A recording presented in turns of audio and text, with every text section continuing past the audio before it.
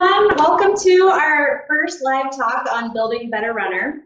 Um, let me start with some introductions. This is Kaley Burns from Big Sky Natural Health, Megan Porter from Moving Mountains, and myself, Heidi Bowman from Lone Peak Physical Therapy. Uh, the goal of this group is just to collaborate on our areas of expertise and to give people something to think about and apply to their own running practice.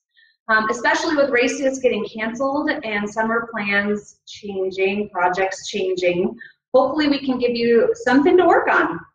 Um, where to start? We're going to kind of start at the basics. There's so many topics we could have talked about. So we wanted to just give you some foundation and something usable for home. Um, so from my side, I'm going to start on some injury prevention.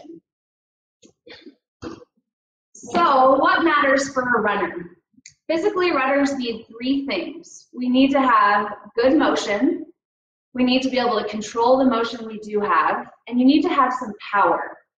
Um, today I'm going to start off with mobility and how well you're moving. So first question for you is when you're running, do you feel symmetrical? Do you feel balanced? You know, as you're running, do you feel your arm swing is similar side to side? Do you feel like your feet are hitting similarly? Um, the next day, do you feel similarly sore? Or do you have one calf that always gets tired and one shoulder that's maybe a little more sore? That means there's an imbalance somewhere. Uh, if you aren't symmetrical, there's a compensation happening somewhere, and this is making you less efficient. Efficiency matters for running. You know, running is hard anyway, so it costs a lot of energy. We don't want to be spending extra energy to, you know, cheat and move differently. Um, compensations happen because your body finds a way to keep moving forward. The problem with this is it also increases your risk of in, an injury. So the other question, so number one question is, do you feel symmetrical? Two is, do you need to be flexible to be a good runner?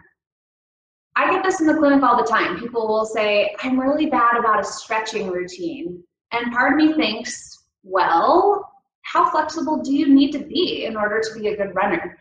Not necessarily that flexible. So thinking more of what matters is where do you need to move well in order to run well? There's four body areas we're going to talk about today. These are all joints, so we're talking about bone motion. If you don't move well at the bones, this is that foundation, then your muscles and soft tissue can't move well either. Uh, so, four joints. We're going to talk about the big toe, the ankle, the hip, and the upper back or thoracic spine. Starting with big toe. Get some things out of the way. You can do this along with me. Uh, with this one, our first movement is just to come up onto your big toe. So my big toe's down, my heel is lifting. I'm kind of getting a feel for how much motion I have here. It's really nice to have a mirror in this case, so you can kind of peek in the mirror and just get a good visual for how much you're moving. And then you can compare to the other side. At home, you know, there are certain numbers or degrees of motion you need, but that's really hard to know at home if it's good motion or bad motion. So what you're looking for is symmetry and that you can get to that same point without any pain.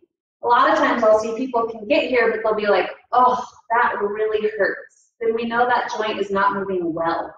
Uh, something else we have here is not only do you want to be able to be on your you know, motion here, you want to be able to have a little balance there. You know, can you hold it? You may not quite be able to get complete balance, but you should have a little bit of stability on that big toe. Again, if we think about running, this is important as we're coming forward, that big toe is that push-off piece. If you don't have that, something else has to move a little bit more. So that's big toe. Second, we're going to talk about ankle. Uh, in order to just really feel this well, I think it's easier to do kneeling. And even better if you have a wall. We're imagine this is a wall in front of me. You want to be able to keep your heel down and see how far back you can move your foot and still touch your knee to the wall. I'm not quite touching, so I have to move my foot forward a little bit until I'm able to touch. Key here is to make sure you don't rotate to get this, that everything stays square to the wall, and then get that touch. Uh, hopefully you have more motion than I do. This is my bad angle. You can put your other foot exactly in the same place and just compare. You can see that probably in the video. I have a little bit better motion on this side. So I know my right ankle is an issue and I need to work on it. Again, we're feeling for symmetry and just that it's not painful when we get to that end point. This is also a good place to kind of take a look at hip motion. Here we're looking at hip extension or how well your leg can go behind you as you're running because that's important. If I don't have good motion from the hips, my low back does it for me. This is where a lot of times people will tell me their low back hurts after a long run. So again, we're kneeling. Uh, in order to not use your low back, a good trick is to just small tilt under, tap your tail, posterior pelvic tilt. That way you really feel the front of your hip and just seeing how well you can move. Again, hopefully you have more than me, but we're looking for some symmetry here. Again, it's also helpful to have a mirror so you can visually see about how far you're able to move in and out of that. Lastly, we're going to look at some thoracic spine motion. This is where I'm going to use a chair. I'm, I'm angling the chair so that the corner is pointing forward. And then using a pole or a dowel or something like that. So I'm going to angle this corner facing you. I've got the dowel to make it easy to measure. And I'm just seeing how well I can rotate right, left. I can feel that I'm not very good at going left. Uh, at a minimum, you want 45 degrees. So as I turn, I should be able to get the corner of this dowel pointing towards the opposite corner of the chair without moving my lower body. It has to really be nice and level. If you're stiff, a lot of times you'll see this little cheek where you'll get some side bend or the hips wanting to help. So really trying to get a good measure for that. Thoracic spine becomes important during running because it's arm swing. If you don't move well from your upper back, then you can't get that nice symmetry and that crossover from the upper body to the lower body. So there's our four joints. Um, we're looking for symmetry. We're looking for no compensations. If you do not move well at one of those four areas, your body's still going to figure out a way to go forward. So something else is going to cheat for you. So a lot of times it's one joint above or below. I see people most commonly for knee pain with running in the clinic. If we think about knee pain, a lot of times my first screen is, do you move well one joint below at the ankle and one joint above at the hip? If there is something limited on either side, that knee is really good at just cheating a little bit, which can be okay for a short time, but eventually is going to give you pain and kind of cause some injuries. Uh, another big one I hear a lot about is just my low back hurts when I run. This is really oftentimes that, you know, poor hip extension mobility um, or poor stability to be able to control that movement. So keep in mind that all four of those tests we just went through are static positions, meaning we're measuring them you know, almost in like a clinic setting where we're just gauging symmetry, but it's not movement. It's not gonna look and feel the same as running. So, you know, you may show really good motion here, but then if we were to watch you run, it may not necessarily show with your running too. This is a first quick screen. It's easy to do at home, but if there is something that's more concerning or there's a big asymmetry, that's where a running video analysis can be really helpful. Um, and having someone like show you vectors or planes and movement in order to you know, visually see what it looks like in running. I'll give you a little more information about that later, but um, now that we've gone through these movements, let's return to some questions. Do you need a stretching routine? It depends. So you need to personalize it to address your weaknesses. So if one of those four areas is not moving well, you definitely better be working on that before you go out and run. The other piece to that is you need to prepare your body for movement, in this case, running. So a warm-up routine should look and feel like running if it's preparing you to go run.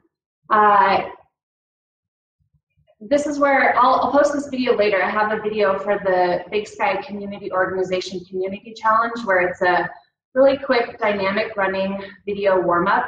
It takes two to three minutes because it takes more than that. I'm probably not doing it. I'm not great at stretching before I run, and as you can see, I probably need it more than anybody. Um, but it quickly addresses those four areas. So if we were going to really quickly just say the test is the exercise, you know, we want to make sure you have big toe motion. We want to make sure you have some ankle motion. A great position here is a little bit of a lunge. So uh, from the side, you can see I'm getting some extension on that big toe. My big toe is moving. I'm feeling the stretch here, my left front of the hip. I can shift forward and get my right ankle moving, and I can kind of add some rotation in to get that arm swing prepared for running. Um, again, I'll post that a little bit more specifically later. But the thought is, is the test is the exercise. So if you have some stiffness, just go through that test position and start working it and seeing if you can loosen it up on your own. Um, so this covers some thoughts on how to address stiffness or areas that don't move well. The flip side of this is what if you find you have a lot of motion and what do you do about that? That's where, you know, you need to focus more on the stability piece. You need to be able to control the motion you do have. So from a mobility perspective to review, the take-home message is, do you feel symmetrical? Are you moving well from all four of those key areas? And are you preparing the body for running and addressing your weaknesses before you start the activity? Now that you have some moving ideas, let's work on some of this dynamic strength control and I'll pass it over to Megan.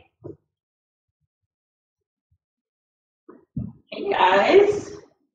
So, Heidi just told us what we need in order to, what kind of movement we need in order to be effective at running.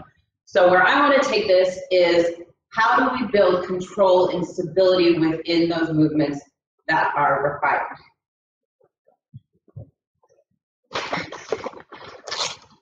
Two seconds. So this is where strength, come, strength training comes in. There are many benefits to strength training for running. First, injury prevention. This is what Heidi focused on. Huge, right? Nobody wants to be in the PT clinic because you're not feeling good, or nobody wants to be on the sidelines when your friends are out there on the trail because you're not feeling good. So if you go into that season strong, you are going to be feeling much better out there in those early runs. Second is kind of obvious, but needs to be said. You are strengthening your muscles, but you're not only strengthening your muscles, you're also strengthening your connective tissues, the tissue that connects your muscles to your bones and everything in between. Beyond that, you're also increasing your neuromuscular control, which is going to help increase your speed and increasing your coordination, which is going to help you when you trip on that rock, need to catch yourself, as well as it's going to increase your overall stride efficiency. So what does this mean for training? Well, when we train for running, we have to think, if you want to be successful in that training now, and especially as we age, if you want to be running for years in the future, you have to take a comprehensive approach to your training. So what that means is that we look at what running does, and this is very similar to Heidi's approach in her, um, in how she determined what mobility exercises to give you guys today. So what do we do in running? We've determined already that it's a forward sport and that it requires rotation. So we're gonna train forward and backwards, and we're gonna train some rotation. But we also have to train for that unexpected, that rock that jumps out of nowhere, the route that you trip on. I know many of us are trail runners and we're on uneven surfaces all the time. You might be jumping over mud puddles, you just never know what you're gonna find out there on the trail. So you have to be prepared for the unexpected. So in our world, we call that training in three planes. Forward and back is the sagittal plane, side to side is the frontal plane, and rotational is the transverse plane. So what does that look like in your training? Well, um, backing up a little bit, when we're selecting what we're training those in those three planes, we're going to think about three specific zones.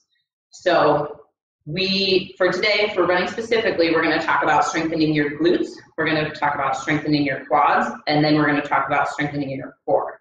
So your glutes that's, that's your main driver. That's what's powering you forward and uphill. Your quads, that's your control as you go downhill. And your core connects all the dots and helps to keep you upright. So from here, I'm gonna give you three exercises for each of those three, um, three zones. And they're all going to be, there's gonna be a little bit of lateral, a little bit of forward back, and a little bit of rotation, like we talked about. So starting with the glutes. Like I said before, this is your prime driver. They are broken up into three muscles. You've got your gluteus maximus and minimus. These are your main drivers, and then you also have your gluteus medius, and this is huge for hip stability. And that is big in trail running, right? We need stable hips. So how do we strengthen these things? I have three exercises for you. Um, first, we're gonna start out with a single leg Romanian deadlift. This is all about balance and hip stability. So you're gonna start by standing on one leg.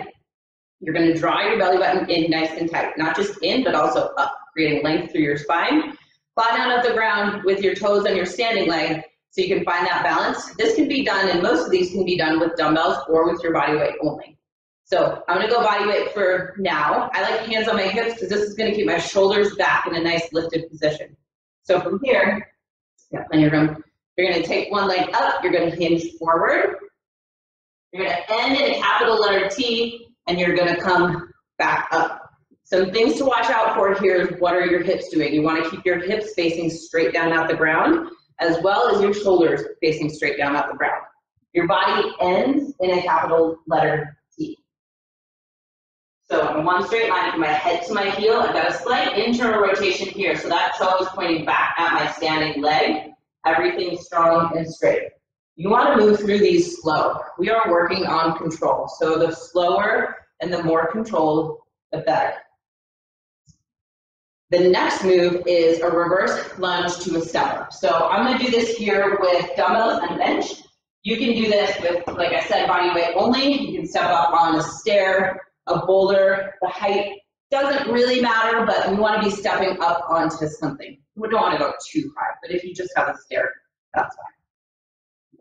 So this is a dynamic movement with multiple parts. You're going to step about a foot away from whatever you're stepping up onto. You're going to bring one leg back into a, a reverse lunge. Drop that back knee down. Now, in your reverse lunge, you're one straight line from your shoulder through your hip, all the way through that back knee. That back leg is going to come all the way up. You're going to slightly shift forward. You're going to feel that quad work already, and then you're going to stand up, and you're going to stabilize at the top. Slow, controlled all the way back down, back down into that lunge, making sure you're not falling forward or rotating as you do that. Now, if you want to get fancy with this move and make it even a little bit more specific, we can add some tempo to it. So we're going to add an eccentric contraction, which I'm going to talk a little bit more about in a little bit. But for now, all you need to know is that is a very slow lowering motion. So you're going to set up, got my dumbbells at my sides, you're going to go down super slow, you're going to go powerful up, stand stabilize, and then down again super slow. My legs are shaking. we had a good leg day at 9.30 today. um, the last move of this block for your glutes is the lunge hold with rotation. Before I move on to this last one, I wanted to let you know that this one's great because it is working not only your glutes, but your quads and your core. So that is kind of a three for one, which I like to be as efficient as possible, hitting as many of those zones in one exercise as possible. So going to that rotational lunge. This is an isometric hold, which is just a hold. So you're gonna set up in a split stance, same, same mechanics apply for this as they do for the lunge in that your torso is up nice and tall. I'm not falling forward. I've got a ball or really anything or nothing at my chest. I'm gonna hold that lunge and rotate into my front leg, front way, and then back to center. Into the front leg and back to center. Now, if you want to make this a power movement and you have a wall that you can toss something up against, you can actually set up next to the wall and row this into the wall. That is wonderful. That's actually my favorite way to do this move because as you release and catch, your body is forced to stabilize side to side. And you're also getting the benefit of that ro rotational core training. So those are your three glute-focused exercises, plus a little bonus. Um, your quads are next. So this is where that word eccentric is coming back. When you are downhill running, you're basically subjecting, you're, you're making your quads work in an eccentric, eccentric, eccentric, wow, no, it's tough today, lowering motion very intensely and quickly. So basically what that means is that your muscles are acting as a shock absorber and they're compressing and expanding very quickly. So how do we train this? Well, we want to train that eccentric contraction because that's what it's doing. So your three quad focus movements are going to start with a single leg Bulgarian split squat. So you're going to go back leg up on a bench. I like to go up on my toe. Some people prefer this. As long as you're feeling it more in the front quad than the back, I'm not concerned with which foot position you choose. But this front leg, this quad is where we should be feeling it. You're slightly leaning forward. You're gonna go down and drive your knee forward as you slowly lower down, come to about four, pause at the bottom, and come back up. Down for four, pause at the bottom, and come back up. Now, if you're feeling this movement too much in your glute, that means you're putting too much body weight in your heel. So shift that weight forward, shift your knee forward in line with your toe, and make that quad fire. From there, we're going into a lateral squat walk. So this is another two for one, especially if you do this with a band, which I like to do with a band. Um, this is kind of a fancy band, but example of a band, you can put that around your knees if you have one. So lateral squat walk, exactly like it sounds. You're gonna sit your butt down and back. You're in a squat, knees are slightly rotated out, chest is lifted. You're gonna step to the side, shift, load that leg, bring it back to neutral. So the biggest thing I see people doing incorrectly in this is bringing your feet too close together. That and just kind of shuffling. We wanna make the glutes work and the quads work at the same time. So slow this down, hold that squat, step, slide, your hips stay parallel with the ground, load that leg just like a single leg squat, bring it, bring it back to neutral. All right, the last one is all about the training for the unexpected. We're gonna do a lateral hop to a runner's balance. So what you're gonna do is stand somewhere where you have enough room to hop to the side. You're gonna hop to the side, land on one leg. You're gonna stabilize, get low in that single leg squat and hold for five, four, three, two, one. Hop to the other side. Balance, stabilize, hold for five. So same thing in there. If you're feeling more in your backside than your quads, shift that weight forward. You wanna make sure that your hips and your shoulders are square. You're not kind of hanging out here in your hold. You wanna be nice and square, making that balance leg work. Now if that doesn't feel good on your knees right away, just take out the impact. Step to the side, hold as low as you can. Step to the side, hold as low as you can. So, last but not least is our core. Like I said before, the core connects all the dots. So in order to be an effective runner, you have to have good posture. And your core muscles are what is responsible for good posture. Specifically, your transverse abdominis or your deep, deep core muscles. So not only are those muscles responsible for that good posture, but if you have strong, deep core muscles, you're also going to allow your lower body to move more effectively. If you're strong in here, it's going to help stabilize your pelvis so that your glutes can do their job to their best ability. So super important and exactly how they connect all the dots. So three movements to train your core. And for this, for core, in this example, I want you to think of your core from your shoulders all the way down to your glutes. And that's not just front side, we're not just talking six pack, this is wrapping all the way around. So We're talking back muscles, sides, and all the way down. A couple of these are even gonna get into your glutes. So the first one, I would recommend doing elevated, in an elevated plank position if you've never done a move like this before. It's quite challenging on the floor. So it's a renegade row with a leg lift. You're gonna set up with your hands on a bench or elevated on something. You can be hands on your palms or on your forearms. This is sometimes easier with people, for people with wrist issues. Either way, whichever arm you're standing on or your, your weight is on, you're pushing up and away from that bench. Almost like you're at the top of a push-up. So you don't want to be dumping into that shoulder. Let your back muscles help you out at the top of that hold. From there, you're gonna do a row with a little leg lift. So in that row, my elbow is staying in super close to my side. It's almost like it's wrapping around my rib cage, so I can get that extra little engagement here. In the leg lift, it's very small. I'm just creating a little bit of instability to challenge those core muscles, also putting that hip into extension, getting a little bit of glute activation. So it's lots of things you need for running, all in one motion. Do these slow and steady and work on your control. Your next movement is gonna be done on the floor. This can be done with a water bottle, a plate, anything, a dumbbell, anything you can pass back and forth. Um, this is another good one, two for one. It's also gonna burn your quads. It's a nice isometric hold for your quads, as well as a good anti-rotation move to strengthen your core.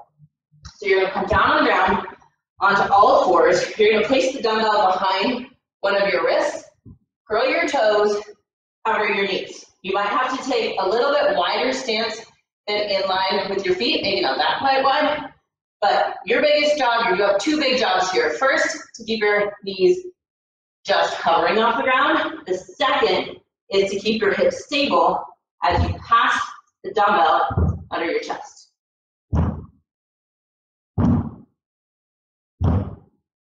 All right, so that's all about working for that stability.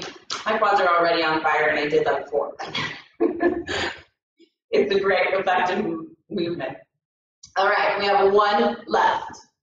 This one I call a flight lunge with alternating bench over row. That's a lot. So it looks like this. This is like a four for one. You're gonna get back strength, you're gonna get glute strength, stability, and core strength all in one. So you're gonna set up with one leg forward, one leg back. Nice wide stance. So not too wide, you want a nice neutral hip, but in line with your hips. From there, shift that weight forward a little bit so your knee is driving straight down into that heel. Belly's almost on the thigh, and then you're gonna do alternating rows. You're gonna allow your body to rotate slightly. All of the mechanics that we talked about for the renegade row apply in that position as well. And that is that when you're at the top, you're bent to 90 degrees, you're pulling back and slightly in. So you don't want to be feeling this one up here. You want to be feeling down in here. And then you'll feel your glutes light up pretty quick in that one too. So those are nine of my favorite movements that I use to train for running. Um, I will have a graphic with sets, uh, prescribed sets and number of sets and number of repetitions for you when we are done with this video. But um, no matter how strong you go into the season and how balanced you go into the season, if you don't know how to fuel yourself on the trail, all of your training goes out the window. So now it's time to hear from Dr. Kaley Burns. Alrighty, hi everyone. So as a naturopathic physician, nutrition is one of my passions. Not only does it contribute vastly to our overall health through endurance training, I've also learned how much this plays into our success in terms of running. Um, so a lot of times people are wondering, what is this nutrition secret that all these professional runners have figured out? I can tell you it's not paleo, it's not vegan, it's not gluten-free. It's that they've become really talented eaters and they do not restrict calories. Um, so having a really solid nutrition plan for trail and endurance events is essential. Um, We've all heard it a thousand times. Do not try anything new on race day. There's a very valid reason for this. Anyone who's ever done it also learned that firsthand. Um, trying something new can have a detrimental effect to our success in an event. So the best time to practice is during your training. Really figure out what works for you. There's a lot of individuality that goes into this. Um, caloric expenditure is going to be affected by a number of factors: gender, weight, conditioning, etc. Um, on average, runners can take in about um, one gram of carbohydrate per minute. This equates to about 240 calories per hour. The reason for this is that when we're running, our blood flow is actually going to be diverted to our muscles and our heart and away from our digestive system. So this means that even if we're running at a very conservative pace, um, we're not going to be able to intake as many calories as we're going to burn. While our body does store fuel in the form of glycogen, glucose, fat, it can be very easy to fall short on calories rather quickly if we're not proactive and we're not fueling from the get-go. Intake will also vary from person to person. Some people can handle taking in that higher range of calories, other people cannot. Um, so here again, this is where practice is going to make all the difference. If you're finding that you're bonking sooner than you think you should, you might not be intaking enough. If you're feeling more um, bloating or digestive upset, perhaps you're taking in too much too quickly. Your body's really smart. It's going to give you cues, and it's up to us to listen to what it's trying to tell us. So if we break this down, the first thing we have to do is figure out what we are going to consume. What are you going to feel with? Um, are you somebody who wants to drink their calories? Would you prefer to chew them? Maybe a combination of both. Uh, there's a lot of endurance products out there. Are you going to stick to the gels and the chews? Or are you someone who's going to opt for more of the real food? Um, if you do use solid food, you need to make sure that you're intaking enough fluid to ensure proper hydration.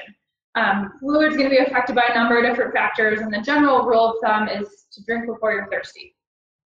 Um, Gels are probably our most common form of intake. Everyone, you know, all the endurance runners love our gels. Um, roughly, these have about 100 calories per little packet. Um, and they can come with things like electrolytes and caffeine, kind of these added little bonuses. However, intaking eight gels over the course of a few miles can get pretty monotonous. So having something that you can chew can be very beneficial um, give yourself a little bit of a mental break as well as that physical boost that we're looking for. Um, when we're choosing real food, we want to make sure that we're exercising some caution with this. In general, fewer ingredients is going to be better for us digestively. Um, so things like bananas, rice cakes, um, even peanut butter and jelly is fairly simple. Um, the big thing with this is to know prior to an event or race day, how this is going to affect our digestive system. Um, the most common contributing factor to like the runner gut, the digestive upset, is actually dehydration. So we have to be really mindful of how hydrated we are. And when it comes to fluids, we really can't intake, for the most part, enough of what we're going to need during the run. So we have to be fuel uh, hydrated before we start. Um, it's kind of like having a full tank before we get going.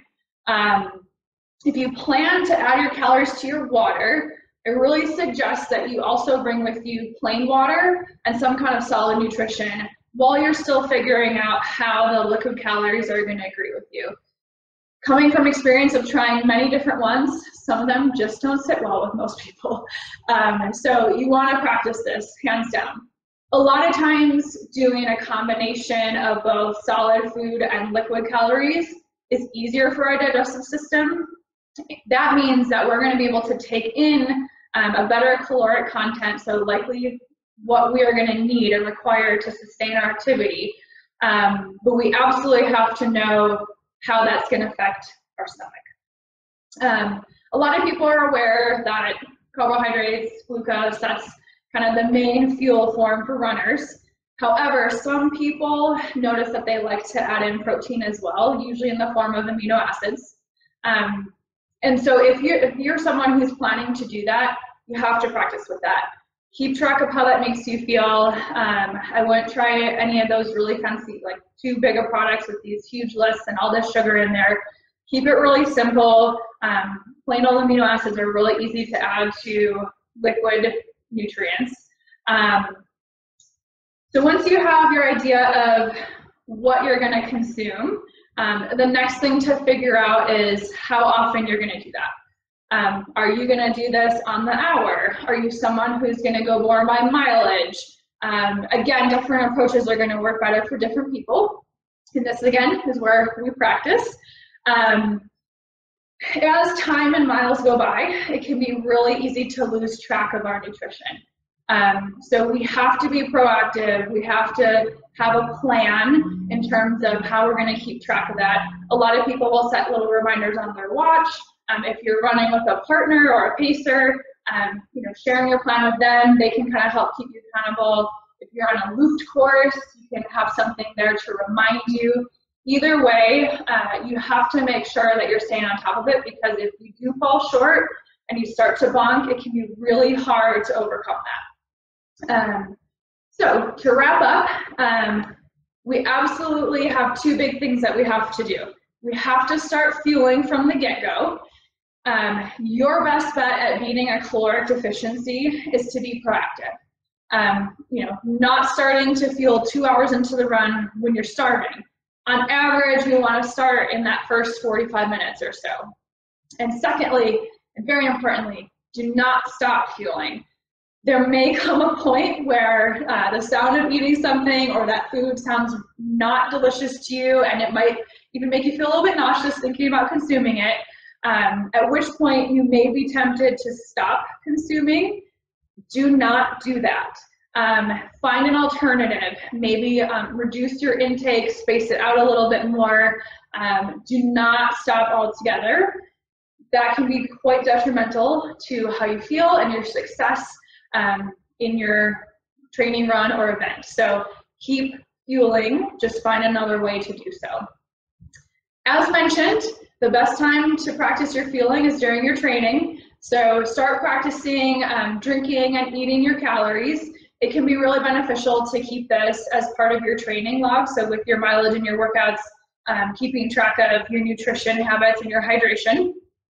Um, as a well-built runner, you need to train your mind, your body, and your gut. So feel free to put any comments in the comment section here on Facebook, and we'll be happy to answer anything. Questions, you will maybe scroll through and just see if anyone does have questions. I should have mentioned that in the beginning.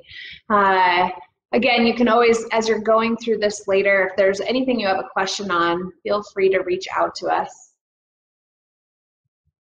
Let's see who's got. Scroll through here, we got? Got some awesome joiners. Trail runner here. Hi, Bridget. We got Sierra, Alicia, and Taylor. Hi, guys. Any advice on post-run nutrition? Stephanie said. Oh, there's a good topic. that could be a whole other topic. Um, yes, absolutely. Probably the biggest thing I see is people waiting too long to get something in. Um, in general, I actually usually do like some kind of powder or something easy on the digestive system, like a liquid nutrition at the end within 30 minutes. Um, and then a full meal basically within an hour. Um, a lot of us get done and we're, you know, off doing this and that and that. So if you have something just ready to go and drink down, that's usually the easiest thing. And you want protein, you want some carbohydrates to replenish in that, um, but keep it kind of digestively simple for that initial aftermath. And hydration, sorry, rehydrate. Um, something that's what I'm watching from the sideline here, but you can see like some of the tests and exercises I was going through turned into the exact same strength move too. They all go together. So there's like a lot of key pieces where like even just having a little bit of a foundation or some ideas to start with will help with this.